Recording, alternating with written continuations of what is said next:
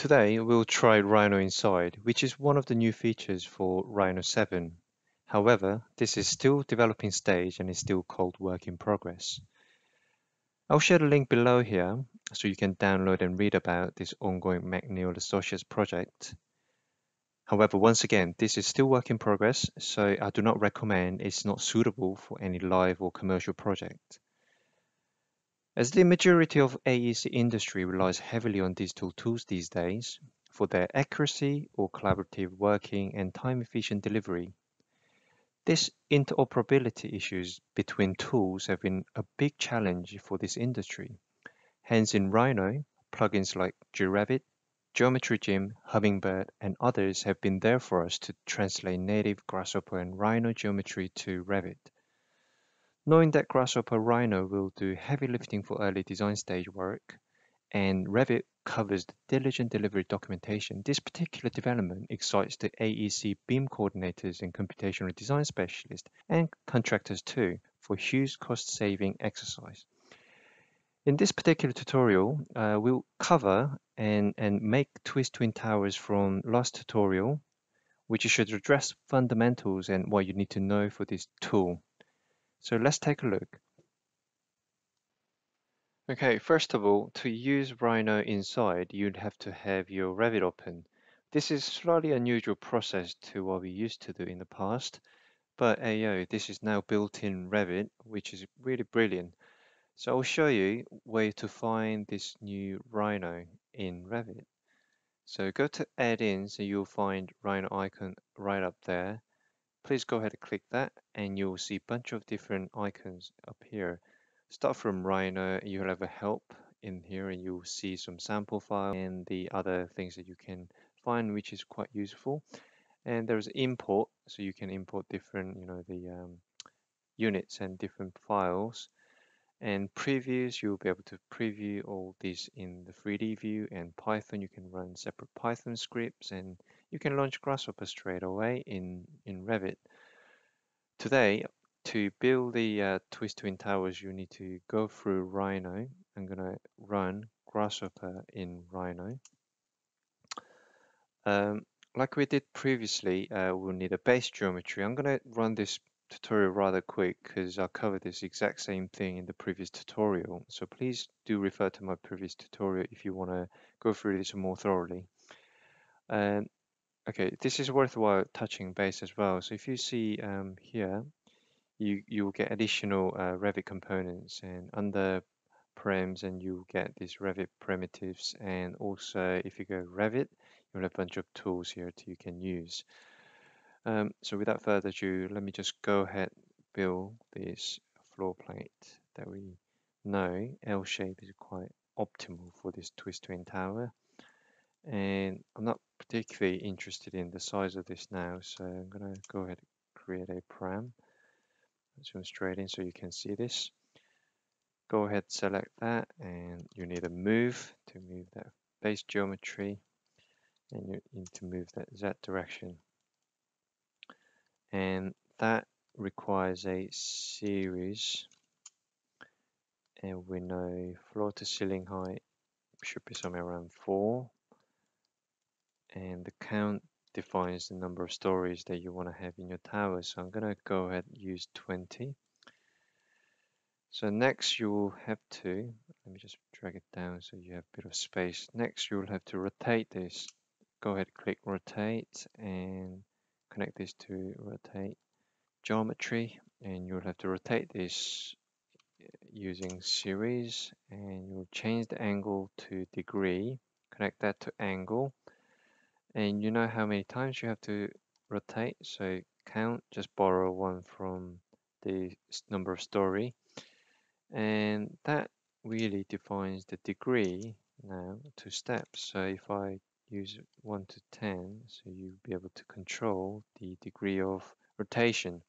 So if I hide this you'll clearly see the tower is rotated which isn't quite visible. If I increase it you'll notice immediately that the tower is being twisted.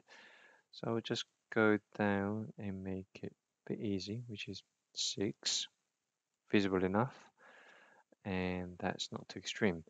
Um, Next, we will have to create a skin, uh, which will use loft and connect the geometry to curves.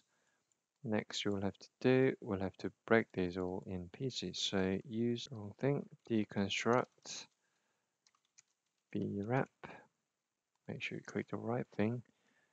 What we are interested in to get is these faces, and we we know what we need to use now. Mesh surfaces. So we're gonna click the faces to surface. I'm gonna hide these two to make it less heavy. So uh, for you, uh, for U count, I'm gonna click connect that to uh, this. So now we have rather quite widely spreaded floor plate and also V count is six. If you wanna make this division bang on the floor where the floor plates are, um, then you'll have to use this uh, number of story. That if you connect that to U count and you control the expression, which is minus one, then you will notice that this is now perfectly aligned with the uh, floor plate, which is helpful. Uh, next, I'm going to rotate this 180 degrees to make the twist another copy twin tower and angle should be 180 and that gets connected there. Uh, we have to define the degree as well right? So that's now been completed. Uh, what I'm going to do next is that I'm going to group these so that you visibly see what these are. So when we um, when we move this geometry to Revit you will immediately see where to find these components. So I'm going to copy this rather convenient rotate tool over here to define the floor plates uh, for twin twist tower. So that's floor plate. So select these all and give a name floor and Okay, so that's all good. Um, if you come back to Revit for a second, if you see 3D, please try recompute. That so you will see this is currently cropped. So if I uncrop this to find this here, if you uncrop this, you'll see the geometry has been translated now in Revit, right? So you can either bake this, right, using these uh, pre-made uh, component tools, family component uh, drop-down menu, and you can bake it. Uh, it will allow you to bake it once you once you click the um, the actual Grasshopper component. So if I go back here, if I click that, and if you come back here and compute, and it will allow you to bake it. So that that way you can have them baked in the Revit. However, we want to go through the right step-by-step -step procedure. So if you go here, if you come here, you'll find a bunch of tools, uh, which is quite similar to GRevit. Um, the, the difference is here, I'll probably go take this into another tutorial to explain uh, what's, what are the differences from previous other, you know, the components or the plugins to this Rhino inside. But let's just demonstrate um, what you need to do to make it work. Okay, so we know that this mesh geometry has to be now exploded, which I half finished.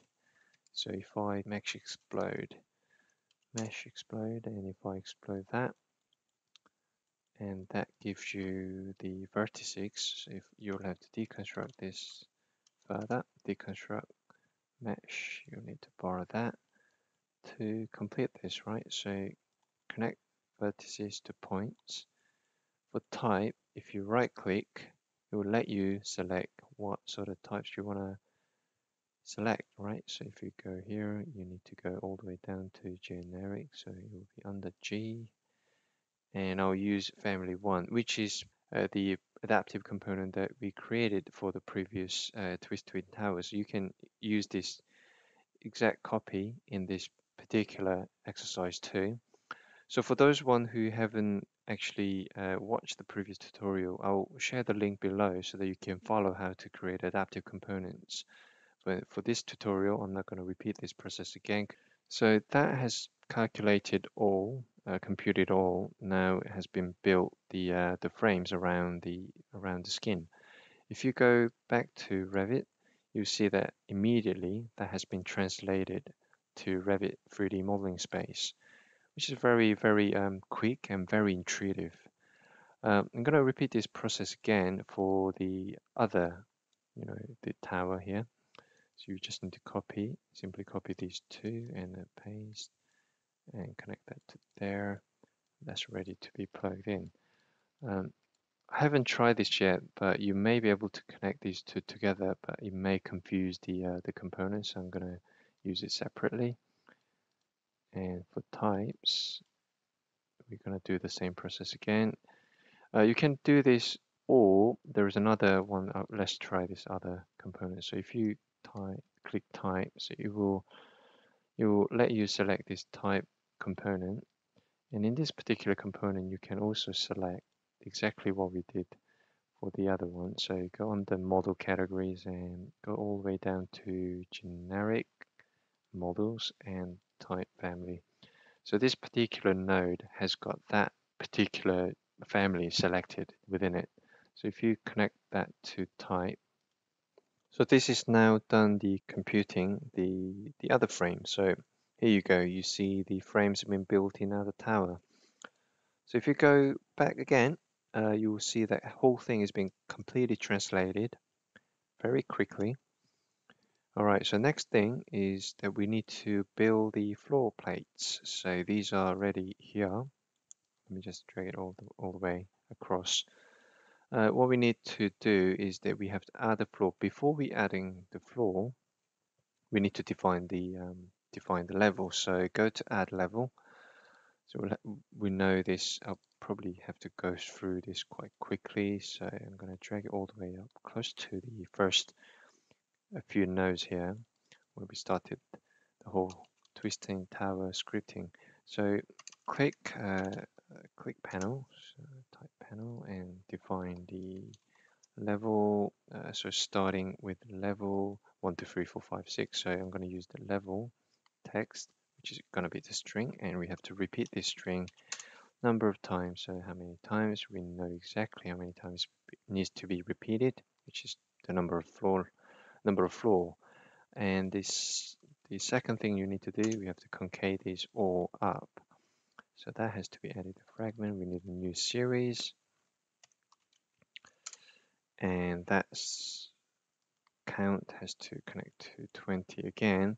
And we know this uh, this number will increase by one.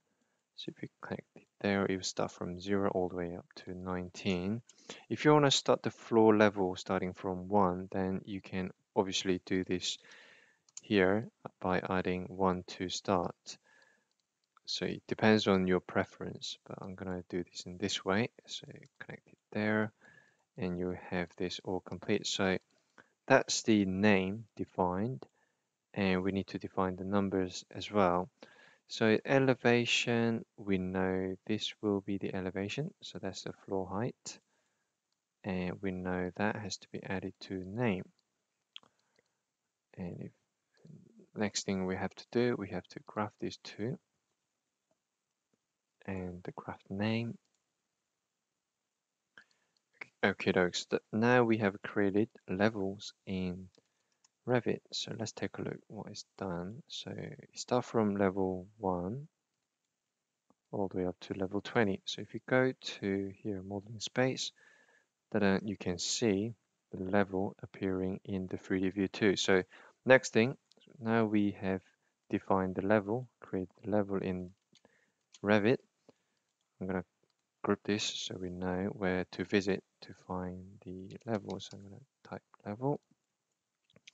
So come back to floor. So let's, so under the build tool, you can find add floor.